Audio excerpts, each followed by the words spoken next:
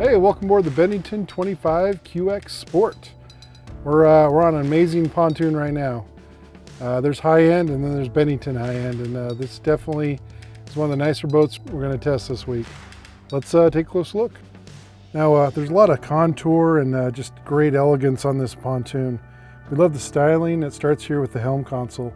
It's all tied together, this nice wraparound windshield. And then and check out the actual dash.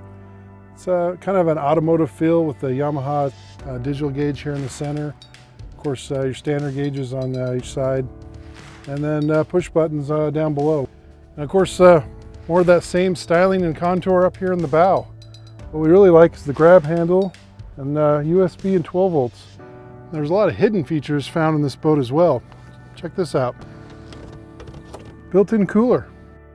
We love the billet gates, just uh, an added touch that we uh, especially love. Of course, there's a nice uh, swim deck back here with high handholds for that uh, boarding ladder.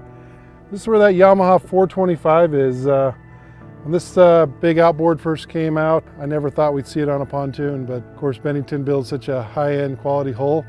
Man, does it give it a great ride. Now, of course, it wouldn't be a sporty boat if it didn't have a sporty wakeboard tower, complete with these giant Roswell speakers, great sound system, awesome overall boat. Hope you enjoyed watching our video. For others, check back to pdbmagazine.com. We'll see you out on the water.